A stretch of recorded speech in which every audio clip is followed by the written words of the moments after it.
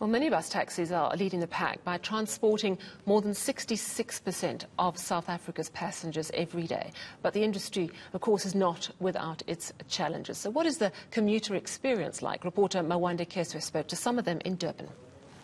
Easy to access, cost effective, and somewhat punctual. These are just some of the reasons why many people are choosing minibus taxis as their preferred mode of transport. nakhona la uthi uma ufika Eh, awulindi kuba khona umuntu okutshela ukuthi nayo iteksi yakuphi and awuhlali isikhathi esiningi uhlala esikhashana nje ulindela ubagibela ababili abathathu then mase uyahamba kodwa nje siphatheke kahle basiphethe kahle abanankinga ku-right yonke into While some are happy with the service, others feel there's much to improve on.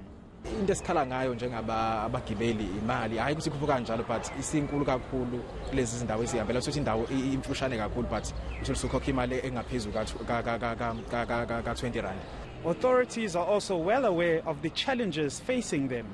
Yes, it is an issue whenever there is a, a, a violence and then it affects our commuters. On that side, we are unable to, to tackle it as, as we speak now because it happens everyone when is not uh, uh, uh, ready that there will be a violence or there will be a shooting that will take place on that particular place.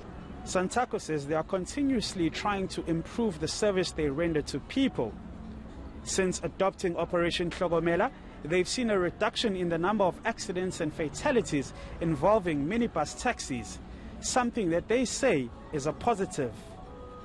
Mawande Keswa, Durban.